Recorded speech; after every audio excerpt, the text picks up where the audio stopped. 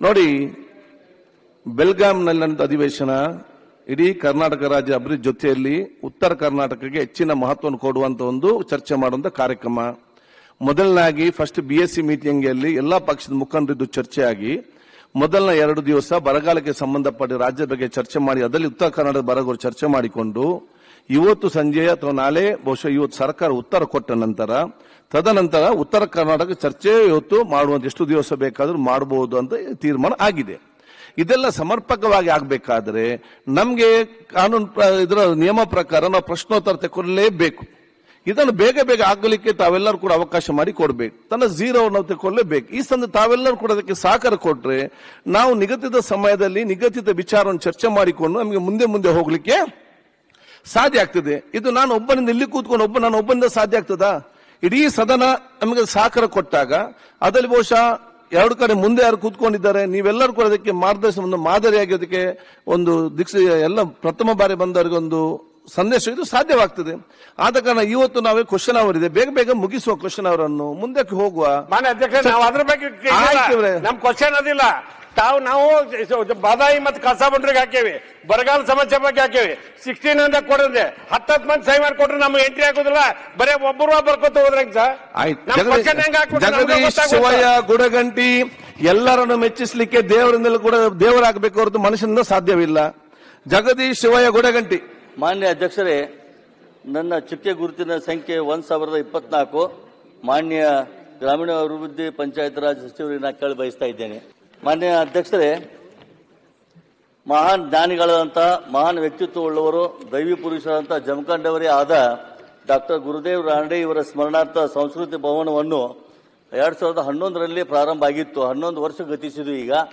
ಮೊದಲು ಆರು ವರ್ಷ ಬಹಳಷ್ಟು ಕುಂಠಿತಾಗಿತ್ತು ಹೇಗೋ ಎರಡು ಮೂರು ವರ್ಷಗಳ ಹಿಂದಿಂದ ಮಾಡಿ ಒಂದು ಹಂತಕ್ಕೆ ತಂದಿದ್ದಾಗಿದೆ. ಈಗ ಕೇವಲ ಒಂದು ಹತ್ತು ಪರ್ಸೆಂಟ್ ಕೆಲಸ ಉಳಿದಿದೆ. ಒಂದೂರ ಮೂವತ್ತು ಲಕ್ಷ ರೂಪಾಯಿಗಳಲ್ಲಿ ಇಪ್ಪತ್ತು ಲಕ್ಷ ರೂಪಾಯಿ ಕೊಟ್ಟಿದ್ದಾದರೆ ಅದು ಪೂರ್ತಿ ಮುಗಿದ ಇದು ಬಹಳ ಮಹತ್ವಪೂರ್ಣವಾದ ಇದು ಭವನ ಆಗಿದೆ. ಇದು ಬಹಳ ಅವಶ್ಯಕತೆಯನ್ನು ಸದ್ಯದಲ್ಲಿ ಇದೆ. ಇಡೀ ನಾಗರಿಕ ಕೂಡ ಎಲ್ಲರಿಗೂ ಉಪಯೋಗ ಬೀಳುವಂತದ್ದು ದಯವಿಟ್ಟು ಅದನ್ನ ತ್ವರಿತಗತಿಯಲ್ಲಿ ಆ, ಇಲಾಖೆಯವರು ಮಾಡಿಕೊಡಬೇಕು. ನಾ ಗ್ರಾಮೀಣ ಅಭಿವೃದ್ಧಿ ಮತ್ತು ಪಂಚಾಯತ್ ರಾಜ್ ಸಚಿವರು ನಾ ಕಳಕಳಿಯಿಂದ ಕೇಳ್ಕೊತಾ ಇದ್ದೇನೆ ನಾನು. ಮಾನ್ಯ ಅಧ್ಯಕ್ಷರೇ ಮಾನ್ಯ ಸದಸ್ಯರು ಏನು ಪ್ರಶ್ನೆ ಕೇಳಿದ್ದಾರೆ ಕೆ ಆರ್ ಐ ಡಿ ಅವರು ಇಂಪ್ಲಿಮೆಂಟಿಂಗ್ ಏಜೆನ್ಸಿ ಅಷ್ಟೇ ಅಧ್ಯಕ್ಷ. ಇದು ಎರಡು ಸಾವಿರದ ಹನ್ನೊಂದರಲ್ಲಿ ಅವ್ರು ಹೇಳ್ದಂಗೆ ಅಪ್ರೂ ಅಡ್ಮಿನಿಸ್ಟ್ರೇಷನ್ ಅಪ್ರೂವಲ್ ಆಯಿತು ಎರಡು ಸಾವಿರದ ಹನ್ನೆರಡರಲ್ಲಿ ಶಂಕುಸ್ಥಾಪನೆ ಆಯಿತು. ಅವಾಗ ಕನ್ನಡ ಆ್ಯಂಡ್ ಕಲ್ಚರ್ ಡಿಪಾರ್ಟ್ಮೆಂಟಿಂದ ಐವತ್ತು ಲಕ್ಷ ಬಿಡುಗಡೆ ಆಗಿತ್ತು ಅಧ್ಯಕ್ಷರೇ. ಅದಾದಮೇಲೆ ಆರು ವರ್ಷ ಯಾವುದೇ ಅನುದಾನ ಲಭ್ಯತೆ ಇರಲಾರ್ದೆ ಕುಂಠಿತ ಆಗಿತ್ತು. ಅದಾದಮೇಲೆ ಸದಸ್ಯರು ಹೇಳ್ದಂಗೆ ಕಳೆದ ಎರಡ್ ಸಾವಿರದ ಹತ್ತೊಂಬತ್ತು ಇಪ್ಪತ್ತು ಇಪ್ಪತ್ತು ಇಪ್ಪತ್ತು ಆ, ಹತ್ತೊಂಬತ್ತು ಇಪ್ಪತ್ತು ಮತ್ತೆ ಇಪ್ಪತ್ತಿಪ್ಪತ್ತು ಇಪ್ಪತ್ತು ಇಪ್ಪತ್ತೊಂದು ಇಪ್ಪತ್ತೆರಡರಲ್ಲಿ ಕೆಲವು ಅನುದಾನಗಳನ್ನ ಬಿಡುಗಡೆ ಮಾಡಿ ಅವ್ರು ಎಷ್ಟು ಅನುದಾನ ಕೊಟ್ಟಿದ್ದಾರೆ ಅಷ್ಟನ್ನ ನಾವು ಮುಗಿಸಿದೀವಿ ಅಧ್ಯಕ್ಷರೇ. Original estimate ninety nine point nine six lakhs ಇದ್ದು ಈಗ ಅಂದ್ರೆ ಹತ್ತು ವರ್ಷ ಆಗಿದೆ ಹದಿಮೂರು ವರ್ಷ ಆಗ್ತಾ ಬರ್ತಾ ಇದೆ ಮಾನ್ಯ ಅಧ್ಯಕ್ಷರೇ. ಅದು ninety nine point nine six lakhs ಇರೋದು. ಇವಾಗ ಎಸ್ ಆರ್ ರೇಟ್ ಜಾಸ್ತಿ ಆಗಿರೋದು, ಡಿಲೇ ಆಗಿರೋದ್ರಿಂದ ಒನ್ ಪಾಯಿಂಟ್ ಫೈವ್ ಕ್ರೋರ್ಸಿಗೆ ಆಗಿದೆ ಇಲ್ಲಿ ತನಕ ಒನ್ ಪಾಯಿಂಟ್ ತ್ರೀ ಕ್ರೋರ್ಸ್ ಅನ್ನ ಬಿಡುಗಡೆ ಮಾಡಿದ್ದಾರೆ. ಬೇರೆ ಬೇರೆ ಇಲಾಖೆದವರು ಮತ್ತೆ ಶಾಸಕರ ಅನುದಾನದಲ್ಲಿ. ನಮಗೆ ಇನ್ನೂ ಇಪ್ಪತ್ತು ಲಕ್ಷ ಬೇಕಾಗಿದೆ. ಅದು ಇಪ್ಪತ್ತು ಲಕ್ಷ ಮಾನ್ಯ ಶಾಸಕರು ಇಲಾಖೆಯಿಂದ ಒದಗಿಸ್ಕೊಟ್ರೆ ಅಥವಾ ಅವರ ನಿಧಿನಲ್ಲಿ ಕೊಟ್ರೆ ನಾವು ಮುಗಿಸ್ಕೊಡ್ತೀವಿ. ಇದ್ರ ಬಗ್ಗೆ ಅವ್ರು ಹೇಳೋಕ್ಕಿಂತ ಮುಂಚೆನೆ ಇಪ್ಪತ್ತೈದು, ಎಂಟು, ಎರಡ್ ಸಾವಿರದ ಇಪ್ಪತ್ತ್ ಮೂರರಲ್ಲಿ ನಾನು ಆಗ್ಲೇ ಕನ್ನಡ ಆ್ಯಂಡ್ ಕಲ್ಚರ್ ಡಿಪಾರ್ಟ್ಮೆಂಟ್ ಅವರಿಗೆ ಬರೆದಿದ್ದೇನೆ. ಇದನ್ನ ನಮ್ಗೆ ಇನ್ನೂ ಒಂದು ಇಪ್ಪತ್ತು ಲಕ್ಷ ಕೊಟ್ರೆ ನಾವು ಮುಗಿಸ್ಕೊಡ್ತೀವಿ ಅಂತ ನಾನು ವಾಗ್ದಾನ ಮಾಡಬಹುದು very good Harish B Harish. Shivaraj Tangadagi. ಸಭಾಧ್ಯಕ್ಷರೇ ನೂರ ತೊಂಬತ್ಮೂರನೇ ಪ್ರಶ್ನೆ. ಮೊನ್ನೆ ಸಭಾಧ್ಯಕ್ಷರೇ ಉತ್ತರವನ್ನು ಒದಗಿಸಲಾಗಿದೆ. ಸಭಾಧ್ಯಕ್ಷರೇ, ಹರಿಹರ ನಗರ ಇತ್ತೀಚಿನ ವರ್ಷಗಳಲ್ಲಿ ನೂತನವಾಗಿ government degree college, government diploma college ಹಾಗೂ government I T I college.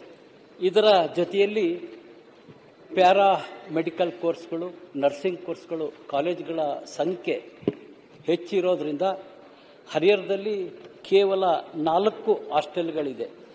ನಾನ್ನೂರ ಅರವತ್ತು ವಿದ್ಯಾರ್ಥಿಗಳಿಗೆ ಅವಕಾಶ ಇದೆ.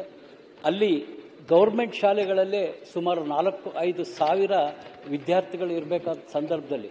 ಅದರಲ್ಲೂ degree, polytechnic, I T I ಮತ್ತು ಪ್ಯಾರಾ ನರ್ಸಿಂಗ್ ನರ್ಸಿಂಗ್ಗಳಲ್ಲಿ ಹೆಚ್ಚಾಗಿ ಬಡವರು, ಶ್ರಮಿಕ ವರ್ಗದವ್ರ ಮಕ್ಕಳು ಓದ್ತಾ ಇರೋದ್ರಿಂದ ಬಹಳ, ಬಹಳಷ್ಟು ಅವಶ್ಯಕತೆ ಹರಿಹರದಲ್ಲಿ ಗೌರ್ಮೆಂಟ್ ಹಾಸ್ಟೆಲ್ಗಳನ್ನು ಪ್ರಾರಂಭ ಮಾಡ್ತಕ್ಕಂಥ ಅವಶ್ಯಕತೆ ಇದೆ.